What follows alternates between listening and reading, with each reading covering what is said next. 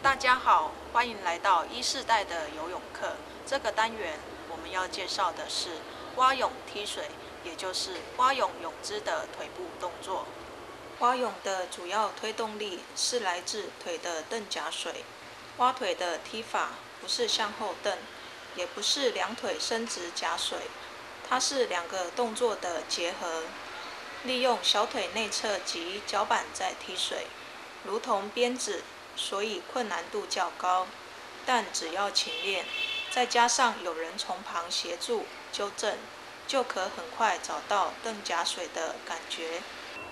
在介绍正确的蛙泳踢水动作前，先让我们来看看几种同学们常犯的错误动作。第一种错误情形：翻脚动作不明确。翻脚是产生动力的关键，脚板是腿的尾端。翻脚未做好，等于力量没有有效使用。第二种错误情形：翘屁股，收腿时大腿收太多，太靠近腹部，身体弓起，导致臀部向上浮起，因此每收一次腿，屁股就翘一下，不太美观，也造成很大的阻力。第三种错误情形：没有飘，收腿快，蛙腿产生的推动力。是维持漂浮的原动力，太早收腿只是浪费腿产生出的推进力，而收腿动作太大或太快，只是增加了阻力与减低前进力。看了这么多的错误动作，接下来就让我们来介绍正确的蛙泳腿部动作。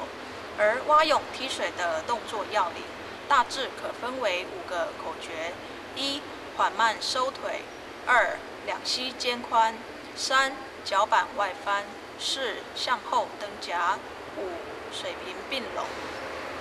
蛙泳踢水时，我们可以先漂浮于岸边，头部保持在水面上，两腿并拢伸直，放松漂浮于水面。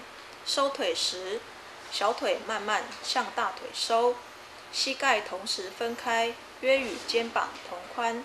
两脚板像锄头一样勾起，朝前朝外，两脚板及小腿向外向前画一半圆，直到两腿并拢伸直，脚板打平，漂浮一下。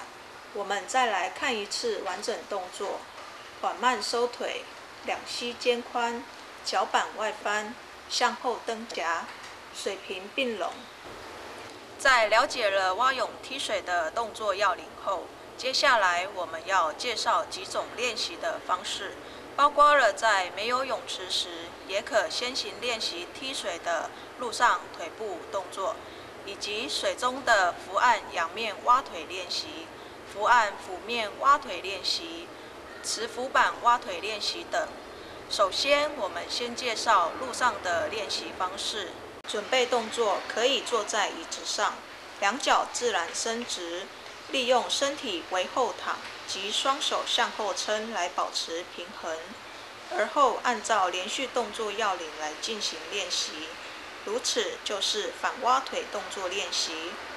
再来，我们介绍水中的练习动作。第一种伏案仰面蛙腿练习，它的准备动作是反手抓于岸边。让身体漂浮于水面，而后按照连续动作要领来进行练习。第二种伏案俯面蛙腿练习，它的准备动作是浮于岸边，利用手撑起身体，保持头部在水面上，两腿并拢伸直，漂浮于水面，而后一样按照连续动作要领来练习。第三种持浮板蛙腿练习。准备动作就像手持浮板的蹬墙漂浮出发动作，蹬出后漂浮一下，再按蛙腿连续动作做练习。今天我们的蛙泳腿部动作就介绍到这边。在结束之前，我们再回顾一下今天的课程。有蛙泳腿部动作口诀：一、缓慢收腿；二、两膝肩宽；三。脚板外翻，四向后蹬夹，五水平并拢。有适合在家练习的路上动作，在岸上或椅子上腿部动作要领的练习。有适合在岸边练习的，配合前面的伏案仰面蛙腿练习，伏案俯面蛙腿练习，磁浮板蛙腿练习。今天的蛙泳腿部动作我们就介绍到这边，谢谢各位。